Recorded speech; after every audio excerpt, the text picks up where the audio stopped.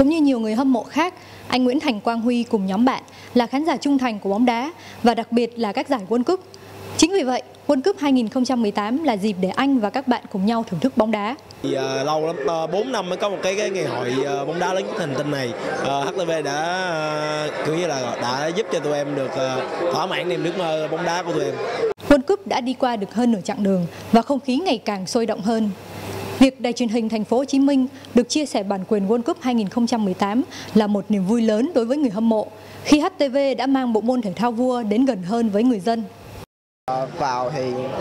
cũng yêu cầu là bật HTV thể thao họ muốn ờ, nghe ờ,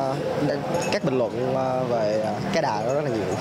Chung các chương trình đồng hành thì mình theo dõi thì thấy rất là hào hứng. Những bình luận viên thì có kiến thức sâu am hiểu và và cập nhật những cái thông tin mà nó phù hợp nó thiết thực và nó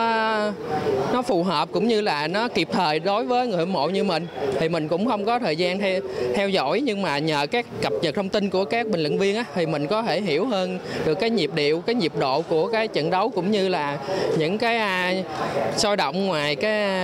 bên lề của World Cup. Em được hòa quyện vào cái ngày hội đá lớn nhất hành tinh luôn. Nó rất là làm cho em cảm nhận uh, háo hức sôi nổi và kiểu như là em cũng đã rất là muốn vừa một lần đi đi Nga để có thể uh, coi được World Cup như thế nào. Uh, dạ em nghĩ là HTV cố gắng làm thêm nhiều chương trình sôi động hơn hoành tráng hơn dành cho World Cup những năm sau đó. Không chỉ ở thành phố Hồ Chí Minh mà người dân khu vực đồng bằng sông Cửu Long cũng rất hân hoan với sự kiện này. À, tôi thường xem World Cup trên HTV thì thấy HTV coi nó rõ hơn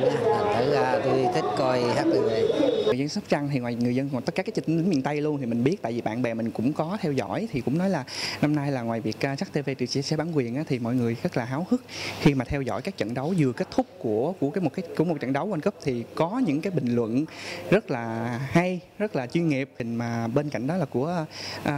trên trang web của HTV thì luôn có những cái cái thông tin mới nhất kịp thời nhất và đầy đủ về các trận đấu Hãy hòa nhịp với World Cup 2018 cùng các trận đấu được truyền hình trực tiếp trên sóng của Đài truyền hình Thành phố Hồ Chí Minh và đừng bỏ lỡ phần bình luận trước, trong và sau trận đấu cùng với các chuyên gia của chúng tôi.